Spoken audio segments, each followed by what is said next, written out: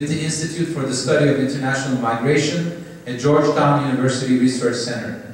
He's a co-author of a scholarly treatise about the internally displaced people of Georgia published by Lexington Books. Matthew is also the author of six books about Armenia. His latest book, we'll hear about it, is Historic Armenia After 100 Years, Ani, Kars, and the Six Provinces of Western Armenia, which was published in February Matthew is here today to share with us his observations about Western Armenia, which he made during his many journeys to our homeland. It's my honor to introduce to you Matthew Karanian.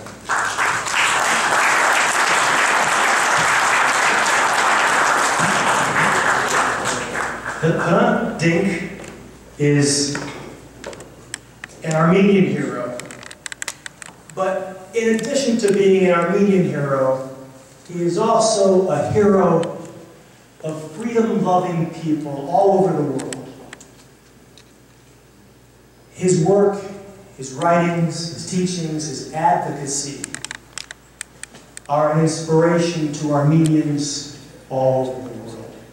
And with so many leaders and so many heroes, each of us may have nuanced opinions about what it was Hrant meant, what it was he taught, what were his objectives. Some of us will say, Hrant believed that the Turks and the Armenians need to reconcile. And then many others will say, no, that wasn't quite what uh, Hrant Dink meant. What he meant was that the Turks and the Armenians need to stop talking past each other and start a dialogue. And that perhaps a dialogue is the first step of many steps on the road towards some eventual reconciliation. What I believe, have gleaned from my understanding of Dink, from his writings, from his advocacy, is that each of us needs to look inside his own heart and in his own head to reconcile within ourselves what happened a hundred years ago, the Medz Yeghern the great crime, the genocide. And only then can we move forward into the next century. We spent, we Armenians spent, the first 50 years after the genocide surviving, reestablishing ourselves, getting settled in Syria, Iran, Iraq, Los Angeles, Fresno, Toronto. And there was time for nothing else. By the second 50 years, by the second half century after the genocide, we focused our efforts on worldwide condemnation and international recognition of the genocide, and we've made substantial progress in that regard. Now, as we begin the second century after the genocide,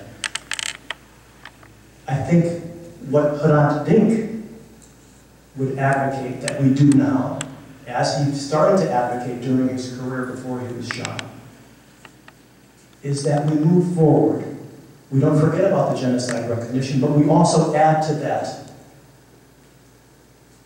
restoration, reparations, and return. Return not in the sense of us going back to Western Armenia. All four of my grandparents are from Western Armenia, but I have no intention of moving back to Van or to Zara or to Sebastia. Not that way. The return of our culture. This is what Hrant Dink fought for. He fought to help us get our culture back. From within Turkey, not from outside of Turkey, throwing stones into the country, but from inside of Turkey. This is what he worked for. 100 years ago, in May, of 1915, the Ottoman Empire passed a law. They established abandoned property commissions all over the empire. And they passed a law providing for the seizure of our assets. As they were killing us, they were funding the killing through the property that they took under color of state law. They seized our property. They seized our personal property. They took our gold. They took our livestock. They took our farm machinery. And when they were done with that, They took our real property. They took our houses. They took our businesses. They took our chapels. They took our churches. And they took our monasteries.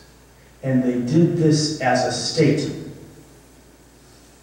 1923, when the Republic of Turkey was established, it didn't skip a beat. It passed legislation, the Abandoned Properties Law, that put into effect a legislated scheme to take our property from us and to do it under color of state law. Now, after a hundred years, we've reestablished ourselves. We've fought for international recognition of the crime of genocide. Now, we can begin to seek the return of our property. And we're starting to do that already. Just this past year, in April of last year, lawyers brought suit against the Republic of Turkey for the return of Sis, for the return of the ancient monastery of Sis, which is located in Kilikya. And here you see some images. We can dim some of the lights. Yeah. We don't need to see me. For the return of these properties. Just in the past few months, we also had the return of Camp Armen, an orphanage in Istanbul. And that return was done without firing a single bullet and without filing a single legal brief. That return of Camp Armen was accomplished because of the pressure, the diplomatic and the political pressure that was put on Turkey through the threat of future lawsuits, through political organizations in the diaspora, and through people such as Hrant Dink working from within Turkey to effect change. You know, if you if you take a thousand random people on the street, Armenians, and you ask them, what will you do? What can you do for Hai Tahd, Armenian cause? I would venture to guess that half of those people, not the people in this group here, a random group in Los Angeles of Armenians, I would venture to guess that half of those people will say, eh, what can I do? I'm just, I'm just a college student, I'm just an engineer, I'm just a doctor, a dentist, I'm just a lawyer from Pasadena. What can I do? But I would venture to guess that if we ask that question of Hrant Dink, Hrant Dink would say, you will do what you can do. You will do what you do and what you can do. If you're an engineer, design something. If you're a laborer, build something. If you're a lawyer, sue the government of Turkey. Do what you can do best. And so I've kind of taken that approach. I've listened to Hrant Dink. He's inspired me. He's been one of my inspirations. And I've said, I want to share our homeland with the people who I live with in the United States.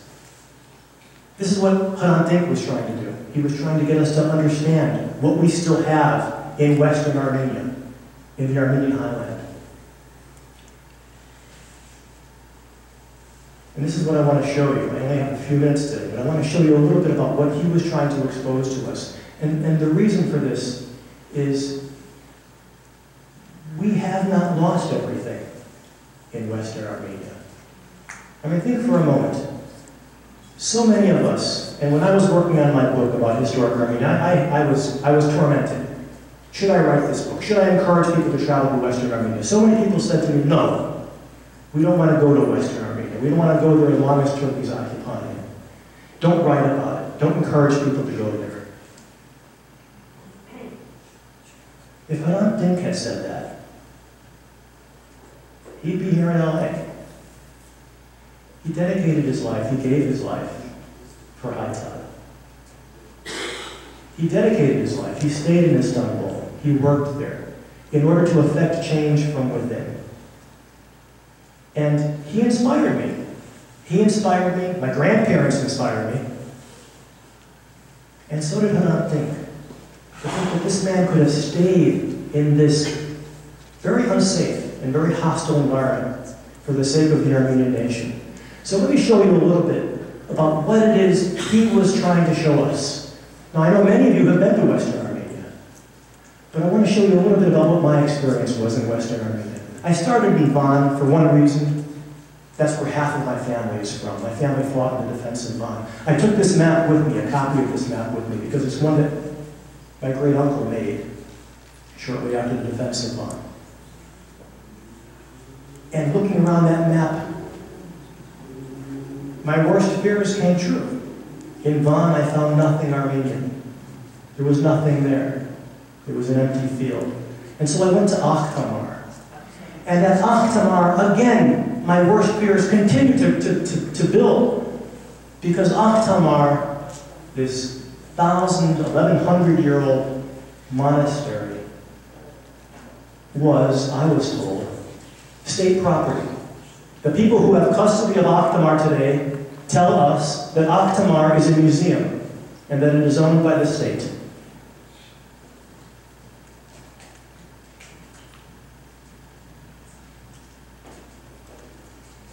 And they tell us that once a year we can have a badarak at Akhtamar. And they tell us that maybe once in a while we can even have a baptism performed there.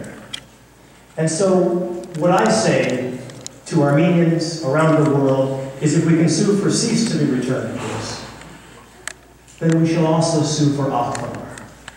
And we shall also sue for all the other properties to be returned to us.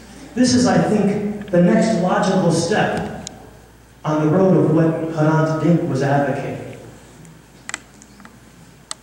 He was advocating for rebuilding, recovering, and restoring our Armenian culture within what is now in the custody of Turkey.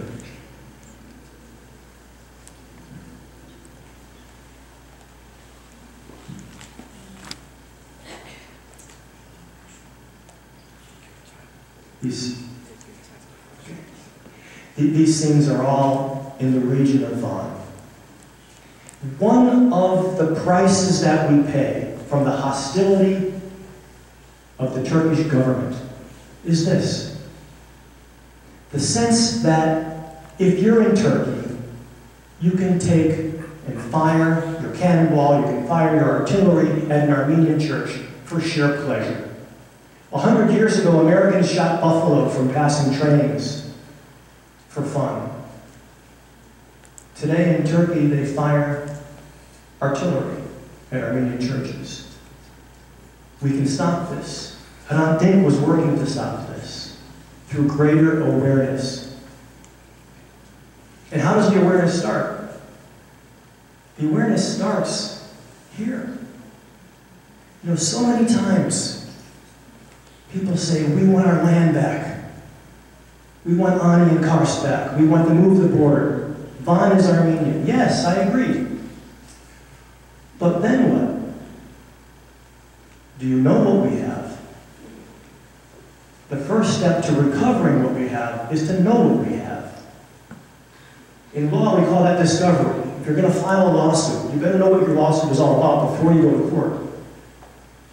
If we're going to seek to recover our lands, if we're going to seek to recover our churches, Let's understand what we have before we launch the litigation.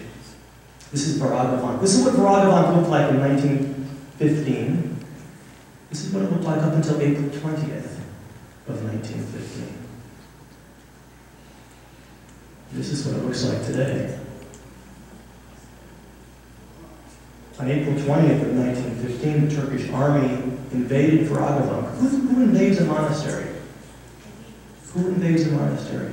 The Republic of Turkey, the Ottoman Empire in 1915, invaded Varagavank because it was filled with refugees from Van. That's who invades a monastery. The monasteries that I found in the Republic of Turkey, in Western Armenia, in the Armenian highland, that were in the best condition were usually on islands. They were usually in hard, remote, difficult to reach places. And this is one of my favorite destinations, Kudus. And here you see the image that I took from the cover, the cover of the book.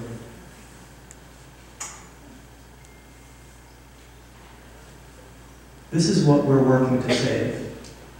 When we talk about we want our churches back, we want our country back, this is what we want back.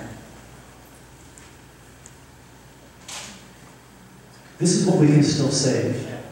If I could show you an image of this Surp Bartholomew from 100 years ago, you wouldn't recognize it.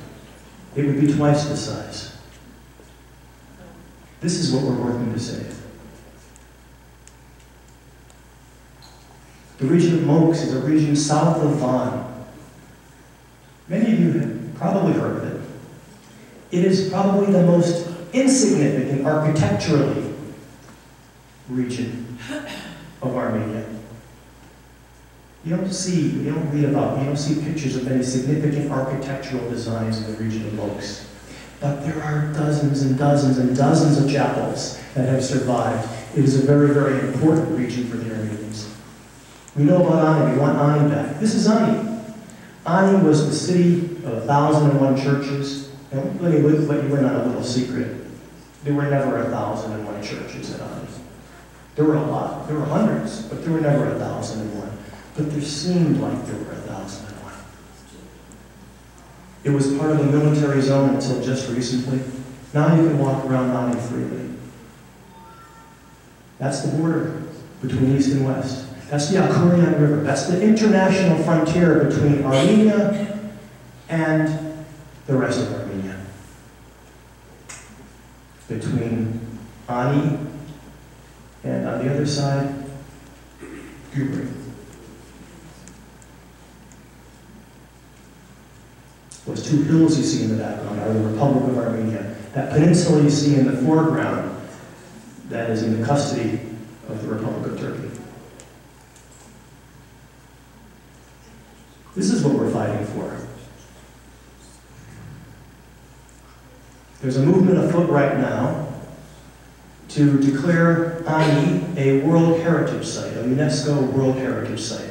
The application for status on the World Heritage List of protected sites, protected world monuments, can only be made by the sovereign that has custody of the site.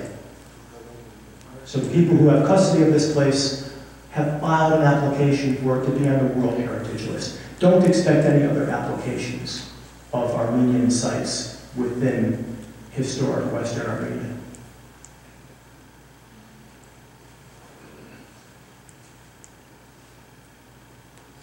Everyone knows this is the Cathedral Ani, which you can't necessarily recognize. It's just how huge this place is. This is a massive cathedral.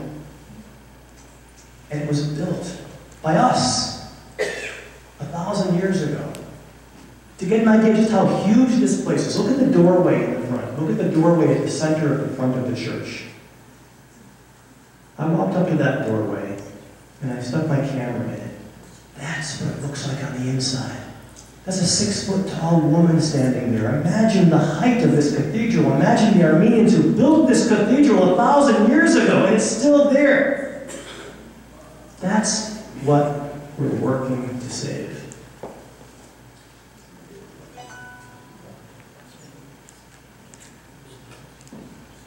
Some of our churches have been turned into barns, some of them have been torn down, some have been razed. This one has been turned into a mosque.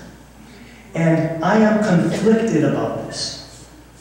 I am certainly not happy that the Church of the Holy Apostles in the center of Kars, which is several hundreds of years old, is now a mosque. I'm not happy about that. But on the other hand, when I first came to this church several years ago, it was a warehouse. And I think that a mosque is slightly more dignified than a warehouse. I traveled with a group to Mren just last year, just a year ago. My first thought when I saw Mren is, why would they build a cathedral in the middle of an empty field of rocks? Who does that? Nobody does that. Mren was the center of a thriving Armenian community Everything has been stripped, everything has been carried away except for Mren, and Mren too is at risk of imminent collapse. Every year, people from the surrounding areas come to Mren and they dig. And they're not digging because they're planting flowers, they're digging because they're looking for gold. They dig down a couple of feet, and when they don't find the gold at the two foot deep level, they come back and they dig another foot, and another, and another. When I was at Mren a year ago, we saw trenches five feet, six feet, seven feet deep. And when the material has been excavated and no gold has been found, the excavated material doesn't get backfilled. The result is that our churches, and this church in particular, could fall down at any time. The Turks call this Besh Kilisi. Besh five churches. I gotta say, I love it when the Turks refer to our churches with a number, because that documents for all eternity how many churches we should have here. We should have five. In this picture, there were five. The fifth one is off, off screen, but there were five churches. This picture was made 100 years ago.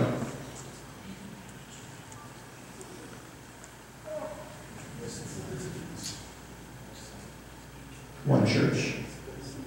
We call this Litzkong.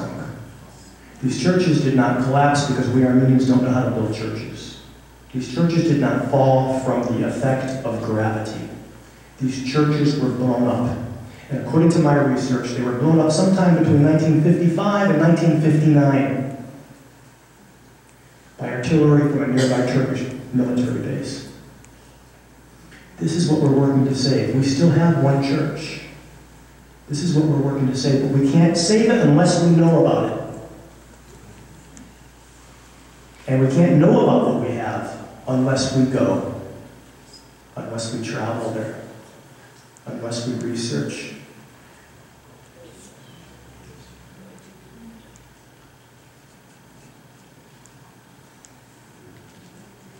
Hrant Dink made one of his one of his lasting legacies was his effort to encourage the hidden Armenians of what is now Turkey to come forward,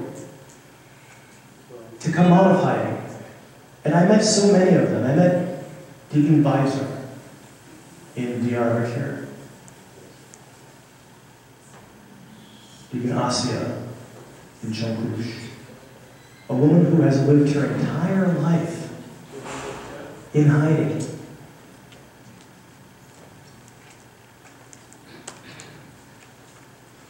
And another man in Zara who told me that he is the last Armenian Zara.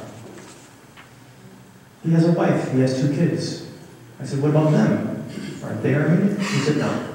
My kids are Muslim. And what can I do? There's no church, there's no Armenian community. What choice do I have but to raise them as Muslim?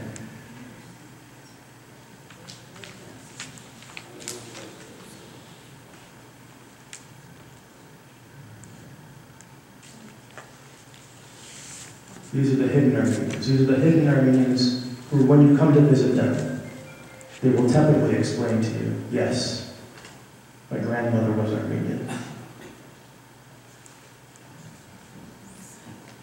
Not everybody hid. Hrant Dink was vocal. Hrant Dink was proud. Hrant Dink was brave. Hrant Dink stayed in Istanbul.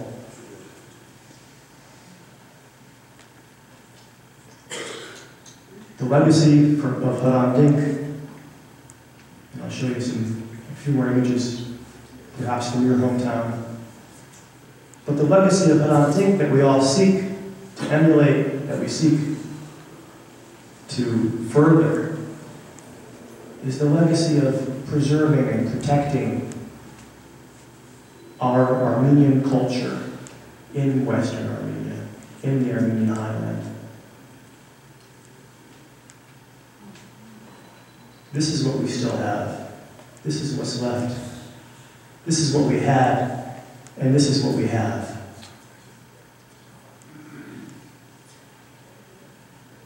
The ruins of an Armenian church in an empty field where the Armenian town once stood. A gorge filled with the bodies of perhaps 10,000 Armenians.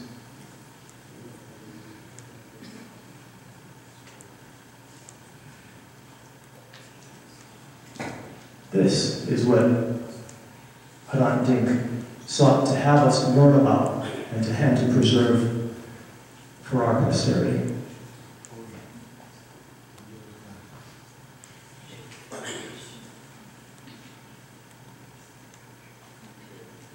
And when you look at the stones in the buildings, look closely.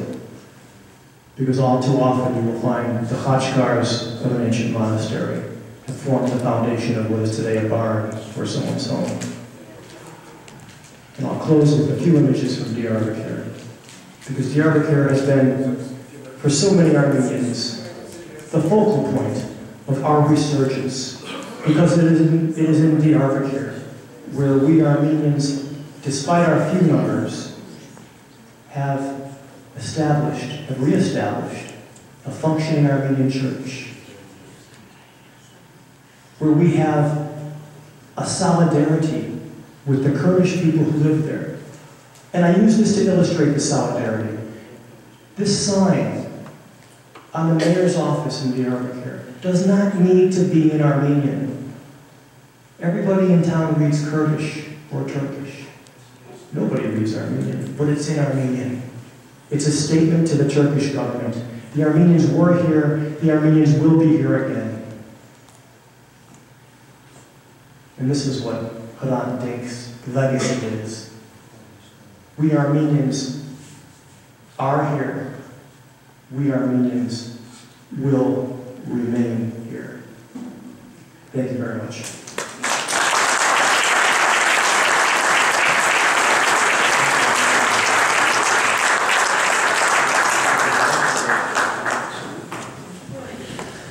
Uh, Thank you so much.